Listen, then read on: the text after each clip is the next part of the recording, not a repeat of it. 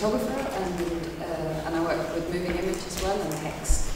Um, and at the moment, I was a visiting lecturer in the UK, but right now I'm um, uh, a, a, lecturer in Sweden in uh, Akademin Valand in Gothenburg. Um, so I'm going to talk a little bit about the two projects that I'm showing um, in the exhibition. And I'm also going to talk a little bit about two new pieces of work that I've made since. Um, so I guess in relation to this exhibition, um, my work deals with histories, and I always start from my own personal history, and then I relate that to kind of other histories. Uh, those can be other personal histories of my relatives or my family, or it could be global histories uh, of conflict, of displacement, of migration. migration. So um, I use myself a lot in my work. Kind of building up the self-portrait, I suppose, and I use a lot of my closest family in my work. Um, and I think the reason why I started working with myself was because I was studying photography and I wanted to take a self-portrait and my teacher said, if you're going to work with, with yourself, you have to think about what you represent. You're A, a woman, and you're B, Asian. And so I realized from that point that I couldn't make work with my face, or what this face represents, without talking about the issues of, um, of being mixed in, in a kind of white Western society and what that means in terms of representation. Um, so my personal conflict, I suppose, in, in history is that I had multiple belongings. My father came to Europe from Sri Lanka, he was Tamil, and my mother is Danish. I was born and grew up in Sweden, and then I lived in the UK for 19 years.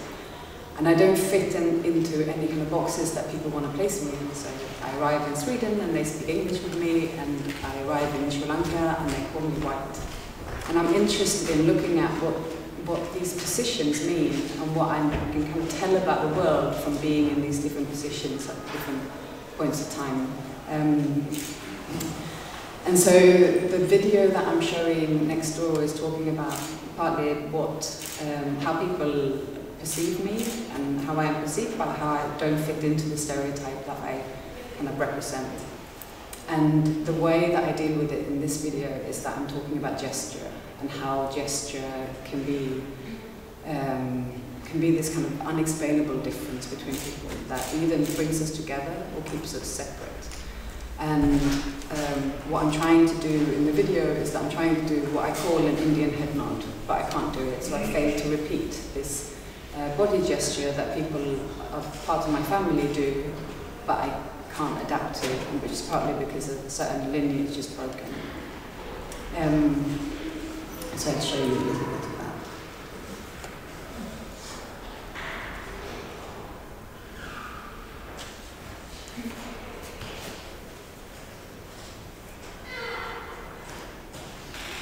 There's a bit of a delay in the movement, but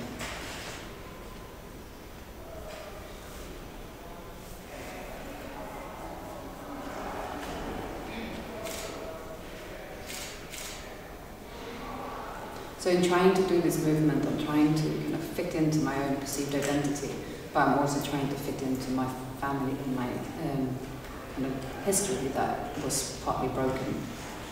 Um, it's an 11 minute video, um, and then I have subtitles along the movement. Um, the subtitles are written separate from the movement, so it's kind of um, a gap between the understanding of both. So I'm not trying to represent a movement that I'm tightening, um, but instead there's kind of an understanding that there's something, there's a gap between. So lacuna means untranslatable, so a word that exists in one language but not in another.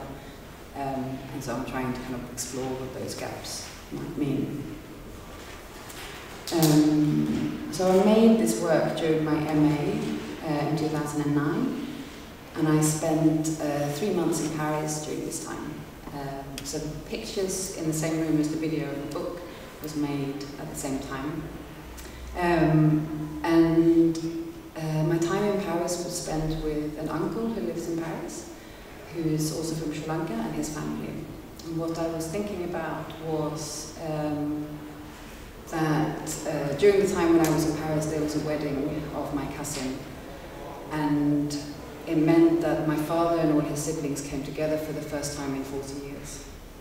And so uh, my father left Sri Lanka in the 1960s. Uh, he left before the conflict started. My uncle who lives in Paris uh, left in the middle of the conflict. And then I have another uncle who left for the States about the same time. An uncle who stayed in the north of Sri Lanka and an auntie who stayed in Sri Lanka but moved down south. So the, kind of, the conflict meant that the family was dispersed. Uh, but because my father left at a very different time to the rest of the family, it means that he had a very different experience to the rest of the family. It also means that us as cousins don't share um, common history, we don't share a common experience, and we don't often uh, even share language. So with my cousins in Paris, they speak French and Tamil, and I speak Swedish and English. Um, so um, what I was thinking about in Paris is like what, what, what happens to the concept of family in uh, this kind of globalized world where nations have their own narratives and the experience that people have of coming to these nations shape them. So, for example, with my uncle in Paris, he came to Paris and didn't have a very good reception in Paris. His children's education was uh, disrupted, um, obviously shaped their future experience in Europe. Uh, they live in Clichy-sous-Bois, which is a suburb in Paris, which doesn't have um, a very Parisian feel to it. It's where the car bombings were in 2005, and uh, car fires. Um, and my father, on the contrary, left in the 1960s. He went to study. He met my mother. He moved to Sweden um, and has in, a, in had a much easier life in Europe than his brother. His brother, uh, I would say, maybe holds on to certain Tamil traditions, possibly stronger than my uncle in Sri Lanka, because he's very nostalgic about certain parts they had to leave. So I was interested in how all these conflicts of, of histories and experiences experience, um, are experienced in the family.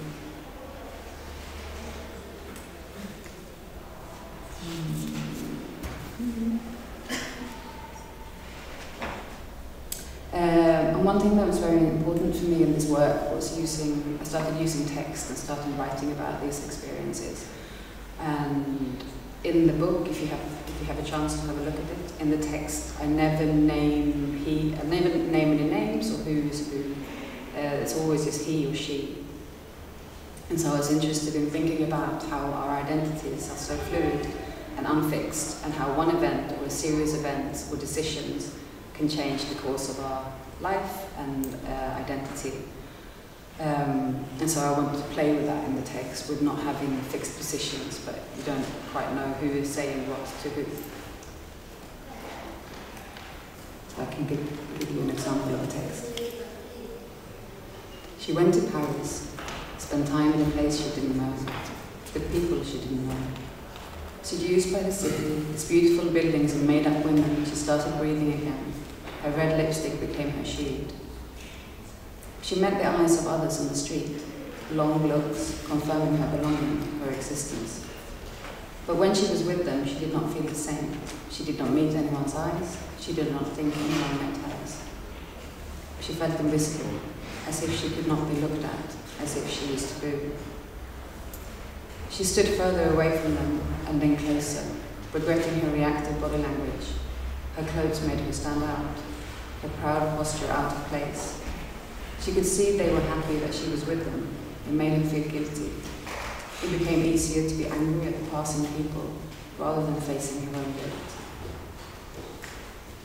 So when making this work, um, one thing that I started thinking about quite a lot was uh, my own participation in representation and what I, what I uh, contribute with in terms of how I represent others, including people in my family. Um, and so that's what I'm trying to get at in this text, that I'm kind of torn between positions and torn between wanting to be seen in a certain way in a dominant kind of Western society um, and belonging with my family.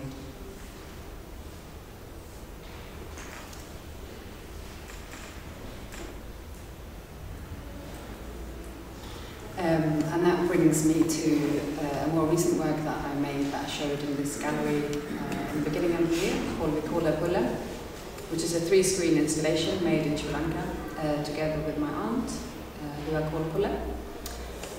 So background information to that is that I, because of the civil war in Sri Lanka, I didn't uh, travel to Sri Lanka until I was 17. So I had a broken relationship to the country. Um, and again, I don't have a common language with my aunt, and so we try to understand each other through body language or through other means, often cooking or dressing up, or kind of what I would normally consider very stereotypical female activities that I wouldn't normally want to represent, but which I actually uh, came to represent in this video. To show you the beginning of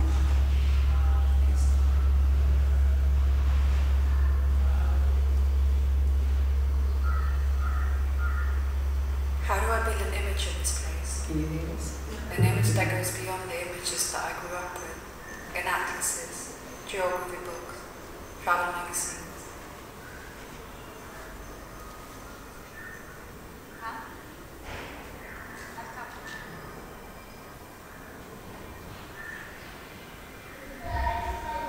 My uncle has offered that I can stay with him in his new modern house. I used the new toilet and shower. It's the first time anyone has used it.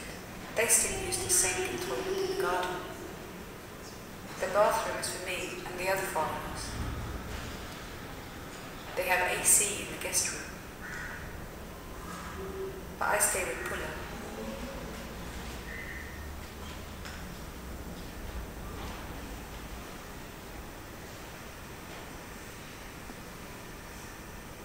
She reminds me of my father. Everyone thinks it's funny that I call her Pulla, since it means little sister. But I'm just imitating what he called her.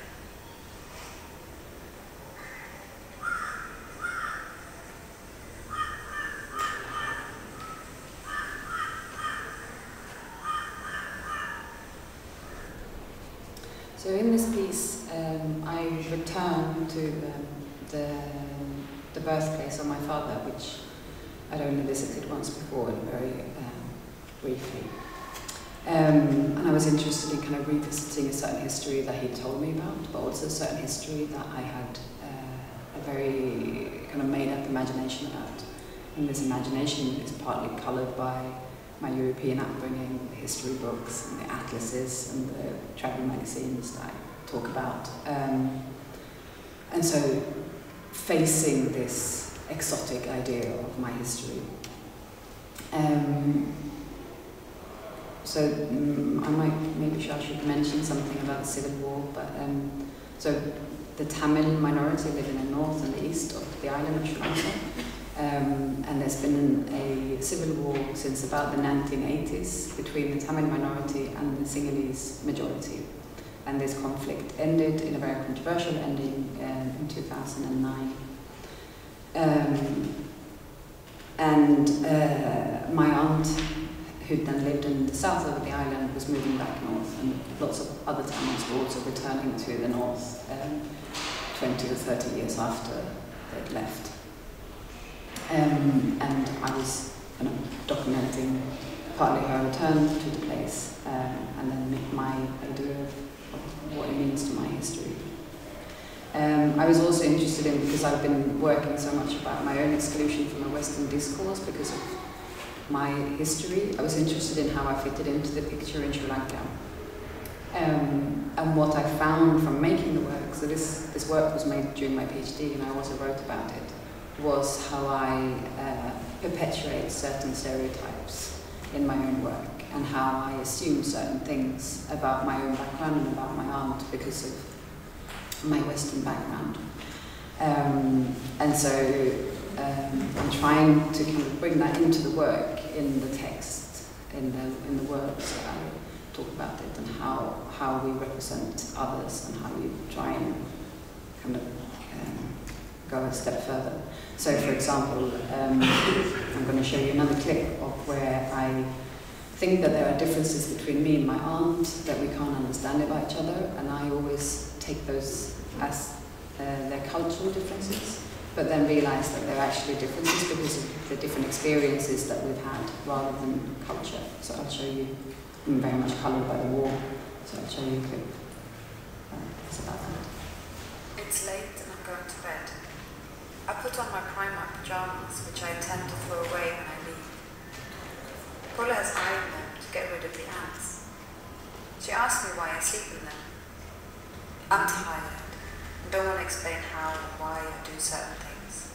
I get annoyed and want to go into my bedroom and take a sip of gin from the bottle I've hidden in a paper bag. To kill the germs, I know if Pulla thanks it, she would think I'm an alcoholic.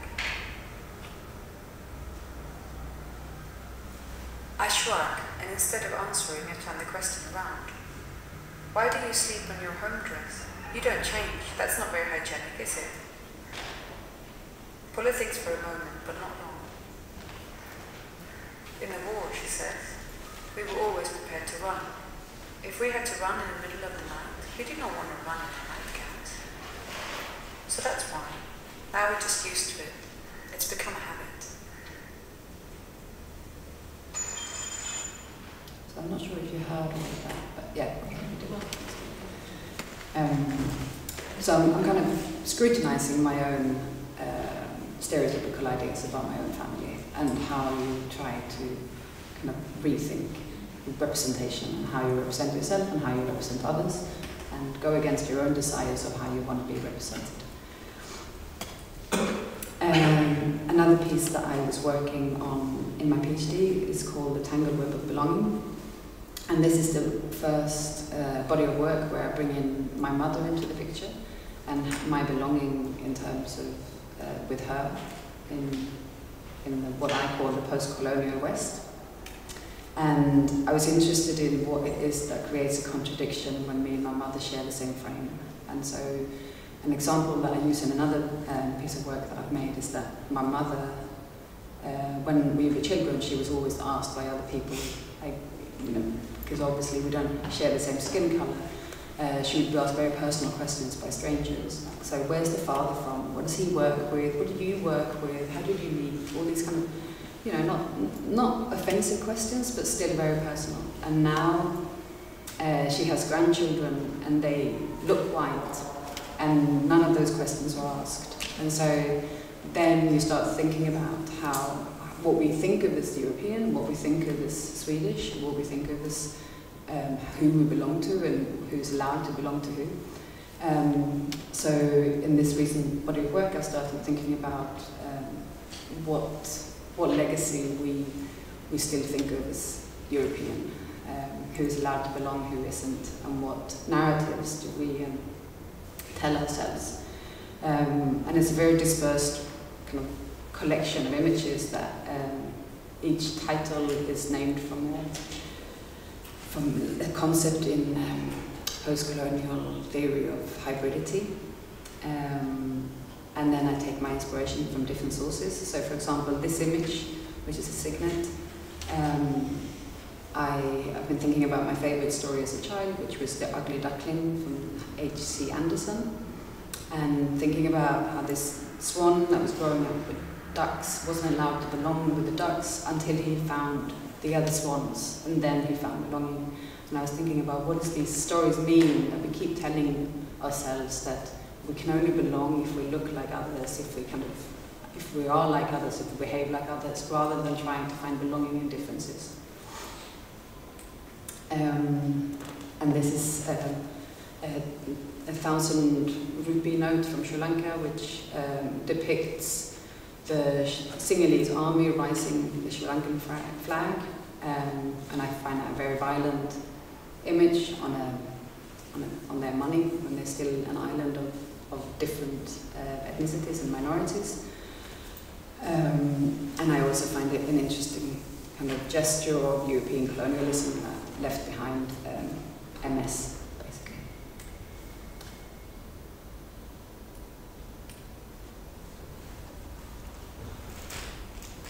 And this uh, work is about to be published in a book called 80 Set of Conflict, which is nine different uh, Sri Lankan artists responding to ideas of conflict. And my vast and open field. So I, I combine this a lot with nature and how we try to uh, restrict nature from grow the way that is natural to grow, but we try to kind of construct the way um, we are together as people, but also our natural habitat. Thank you.